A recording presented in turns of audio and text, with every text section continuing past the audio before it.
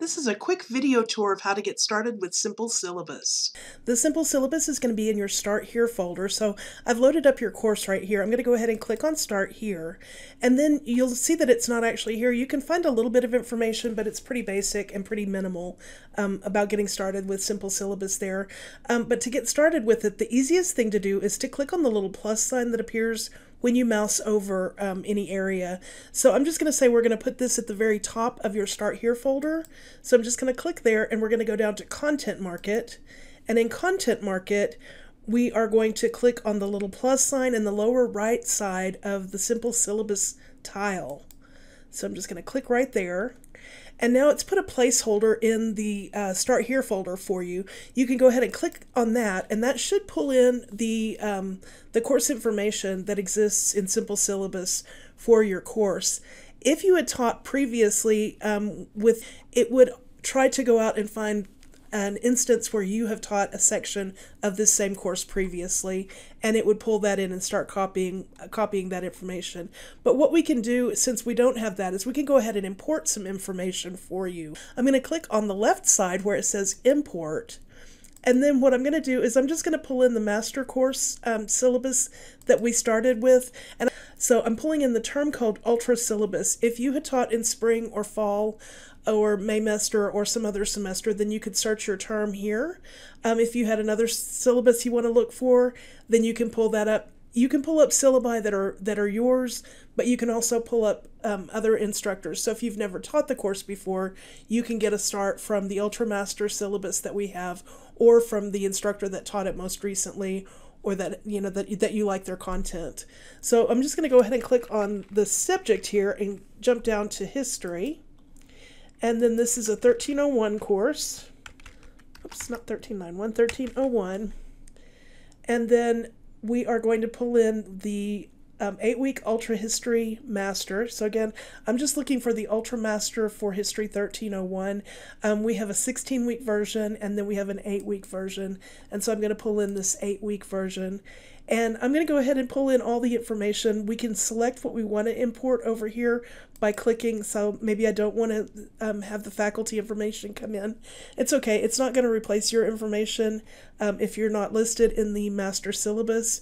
And if Dr. Regalado is not listed in your in your course um, as teaching the class, his content won't populate. I mean, his faculty information won't populate in but you can turn that off if you're if you're not comfortable bringing that information in so let's just go ahead and do do not import here and then we want to go ahead and bring in expectations for engagement, the departmental information, the textbook information, information about the course. I'm going to go ahead and bring in grading so you can see an example of what his grading looked like.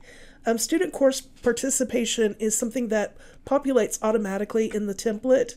And I'm going to not import course policies because that also populates in. You can make changes to that to customize them for your course though. So let me go ahead and pull in our course outline or schedule.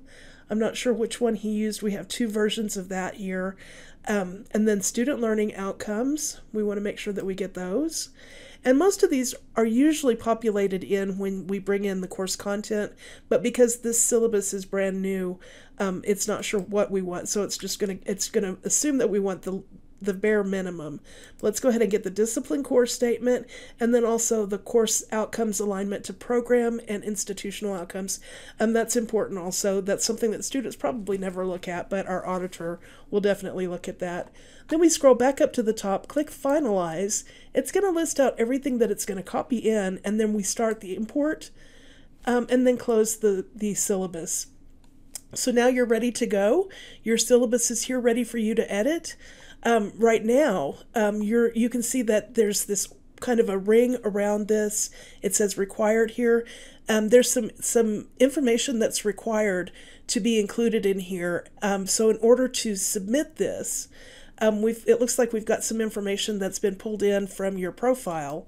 Um, I'm not sure what your phone number is. I'm just going to put a dot there just so that there's something there. And then I don't think we have your CV on file. Let me look really quickly.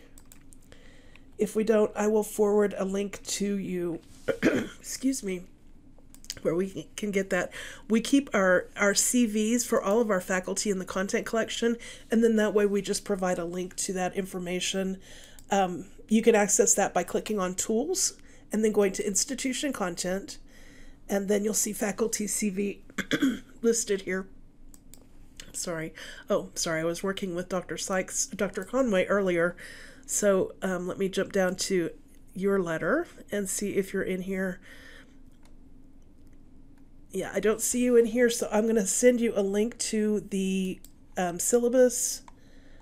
I mean, sorry, the the um, the, the CV template that we use. And this is just the bare minimum kind of information so that you're not providing information that your students don't need, but it's providing everything that the coordinating board is going to be looking for and that's also required with our Texas Education Code.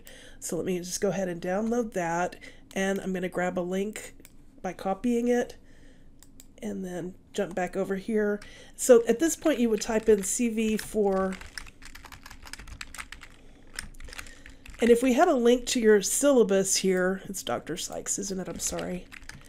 So if we had a link to your syllabus, we could just highlight that and then it pops up with a toolbar and you can click on insert link. This is actually just the link for the CV template, um, but that way, you know, that the, the text is already there. So when we get your link, then we can just drop that in um, and replace that. I'm going to go ahead and click insert here.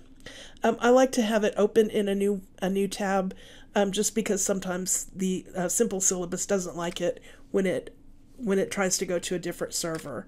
So just go ahead and update that.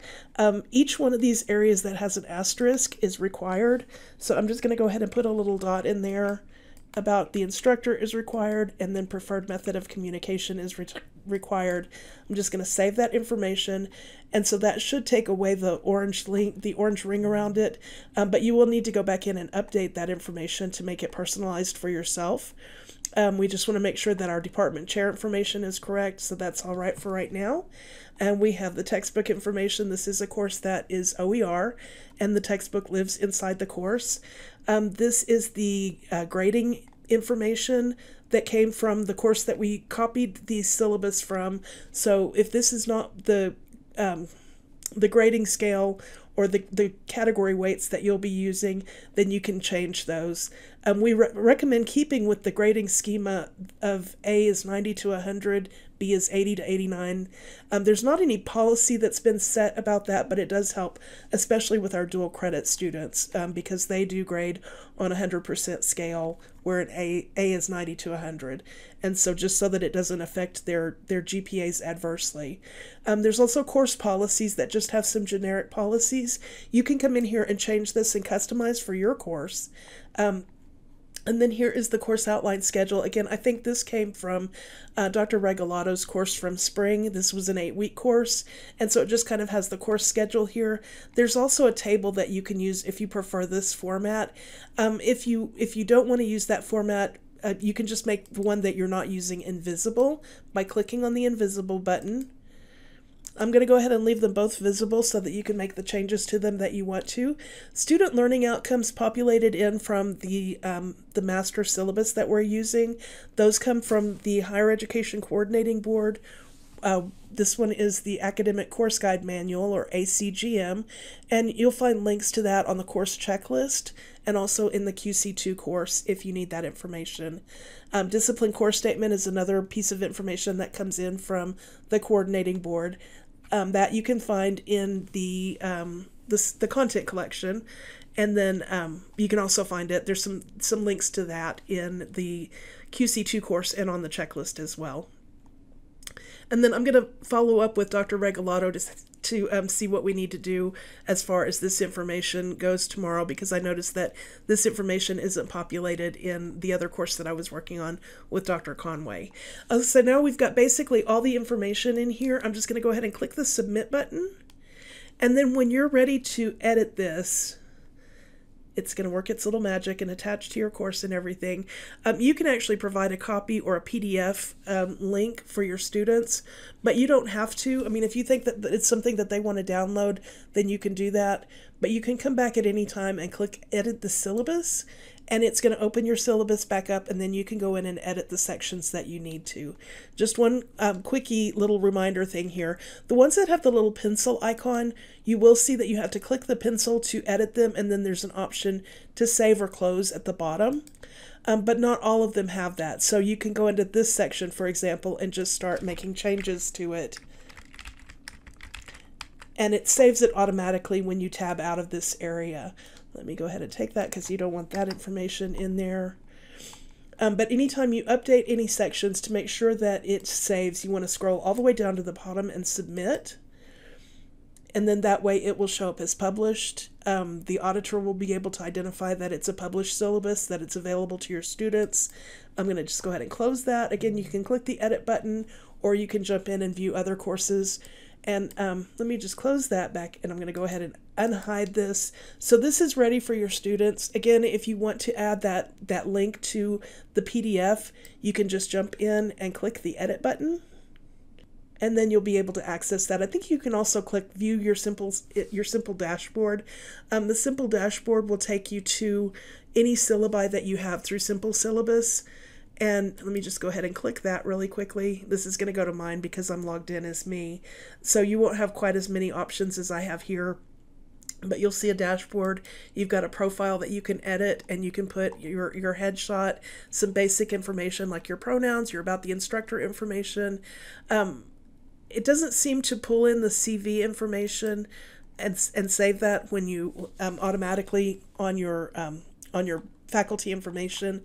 So we do want to make sure that we provide that to you in, um, we're, we're going to provide the template to you, and then you can just send the template back to us, and we will make that a PDF and send you a link for that or update the link in your syllabus. So let me just go ahead and close this out. Oh, sorry.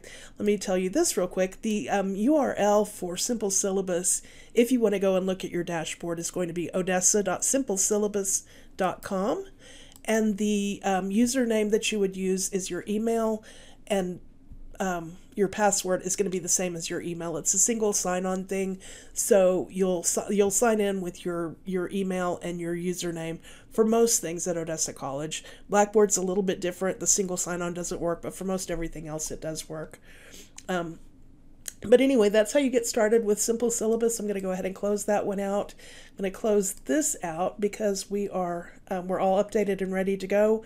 And like I said, when you're ready to update your syllabus, you can just jump in there and click on it, and then um, click the blue button up at the top that says Edit Syllabus, and then that will give you the option to edit it. Once it finishes processing, you'll actually see your syllabus listed here. One quick tip, once you've made changes to it, you might not see those changes right away. Um, I've had to use my refresh button, and sometimes I've, I've had to refresh as many as three times before I actually see the changes that I've made in it. But I just wanted to make sure that you were aware of how to get in, how to get started with it, and where you can get some of that information that you need. So I hope that helped. Um, thanks so much. Please reach out to us if you have any problems. Again, this is Julie, and um, Alex and I are usually here from about 7.30 in the morning until 5.30 in the evening, um, Monday through Thursdays. Thanks. Have a great evening. Bye.